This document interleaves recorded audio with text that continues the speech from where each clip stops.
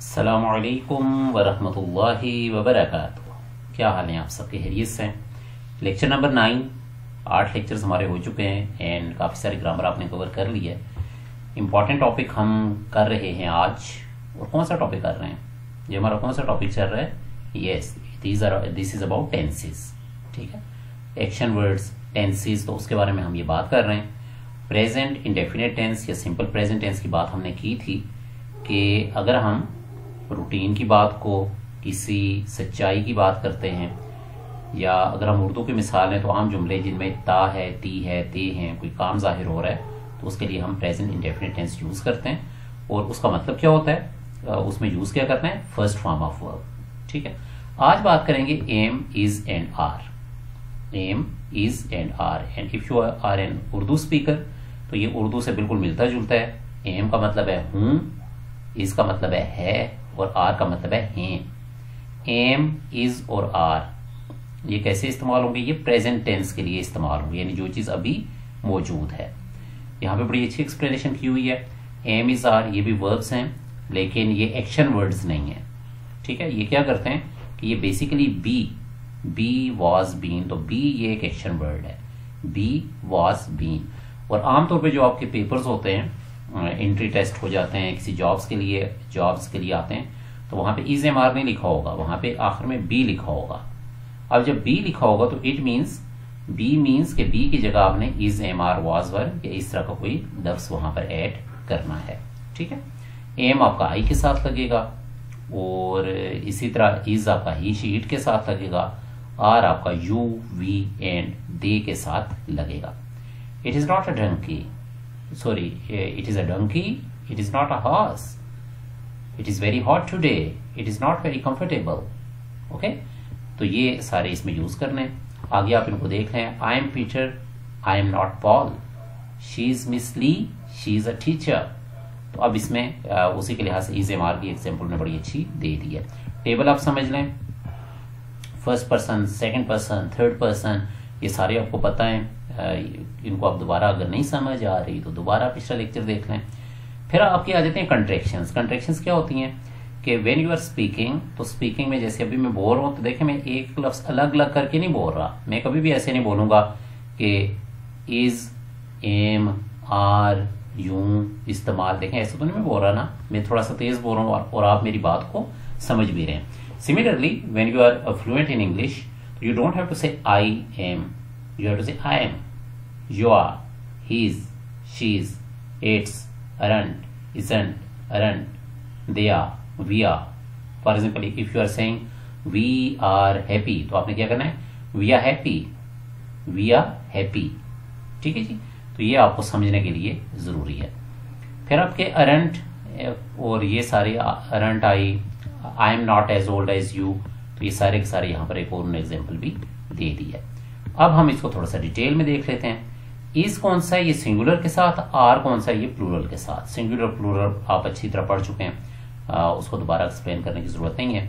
Examples आपने खुद पढ़ लेनी है। और ये बिल्कुल आसान है। ठीक है?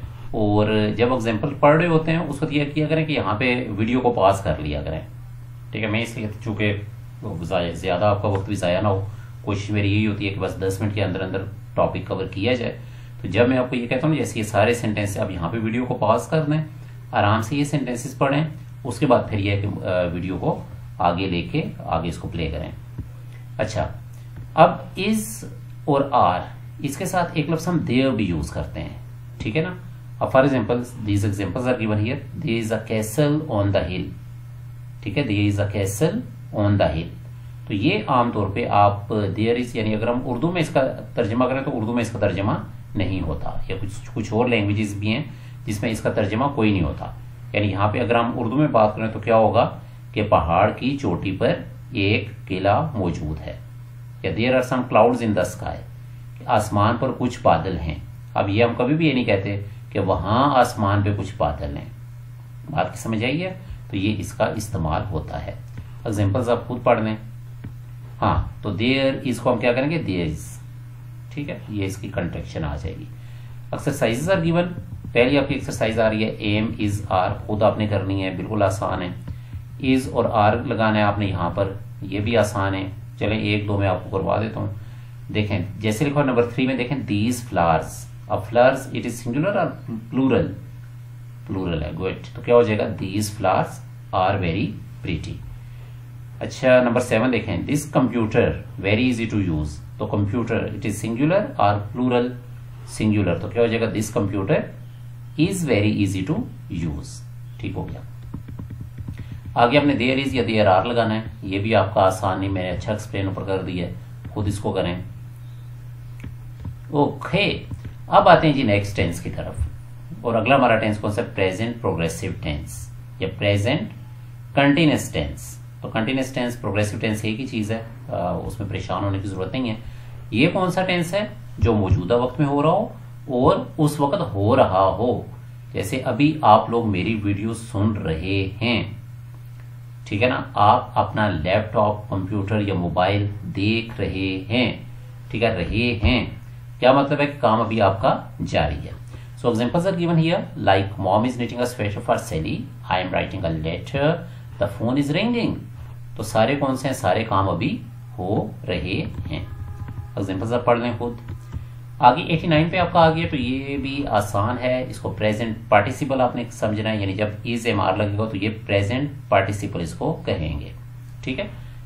यानी जो इसके साथ आईएनजी फॉर्म यानी जब आपका वर्ब लगेगा, उसके साथ आईएनजी फॉर्म लगेगी तो उसको हम प्रेजेंट पार्टिसिपल कहेंगे। यानी अगर आप, अगर आपको ये कहता है कि प्रोग्रेसिव टेंस में इज़ एम आर के साथ प्रेजेंट पार्टिसिपल लगाना है तो क्या मतलब है कि इज़ एम आर के साथ आपने first form plus I N G लगाना है। तो एग्जाम्पल्स यहाँ पे दे भी दी आपको। Like show plus I N G क्या बना? Showing come plus I N G क्या बना? कमिंग ठीक है? ये सारे इसमें यूज़ हो जाएँगे। बाकी अगला ये है कि जब आपका आ, ये वॉल साउंड्स आ जाते हैं किसी आखिरी अल्फ़ाबेट से पहले तो वो आपका डबल टी हो जाएगा। ये पहले भी हमने असूल किया हुआ था। फिर वन सेलेबल वर्ड्स उसमें जो B D G M P T तो उनका वन वॉल्स उससे पहले यूज़ होगा। फिर इस तरह यह है कि आगे आपका ये वर्ड हट जाएगा। और जो ई में शुरू हो रहे हैं तो ई आपका हट जाएगा, उसकी जगह आई एन जी लग जाएगा। अब एक और असूल जो आपने यहाँ पे यूज़ रखना है, वो ये है कि आपने जैसे पहले हमने किया था कि प्रेजेंट सिंपल में या प्रेजेंट इंडेफिनेट टेंस को आप फ्यूचर के लिए भी यूज़ कर सकते हैं। तो इसी तरह आप प्रेजेंट प्रोग्रेसिव को भी फ्यूचर के लिए यूज़ कर सकते हैं। जैसे यहाँ पर देखें when are you taking me to the zoo are you taking are और टेकिंग देखें, ये यूज़ हो रहा है। इज़ एम आर वो यूज़ हुआ है। आगे आपका I N G form use हुई है। लेकिन क्या मतलब we are talking about future कि आप हमें जू दिखाने के लिए या जू कब ले जा रहे हैं। We are having a barbecue later this evening ठीक है? लेटर दिस इवनिंग यानी इवनिंग में वो कॉमन है लेकिन but you are using this are having अब we are going camping tomorrow कल हमने, कल हम जा रहे हैं तो ये हिस्सा आपने यूज़ करना है। आगे आपकी एक्सरसाइज आ गई एक्सरसाइज वन इज़ देयर तो प्रेजेंट पार्टिसिपल आपने लगाने हैं, काम के साथ क्या हो जाएगा? कमिंग यस और स्पेलिंग्स क्या होंगे? सी ओ एम ई आई एन जी या ई e हट जाएगा? ई e हट जाएगा, और क्या आ जाएगा? सी ओ एम आई एन जी अच्छा जी, दूसरा करते हैं। Run what will be the spellings of running R U double N I N G double N क्यों आया?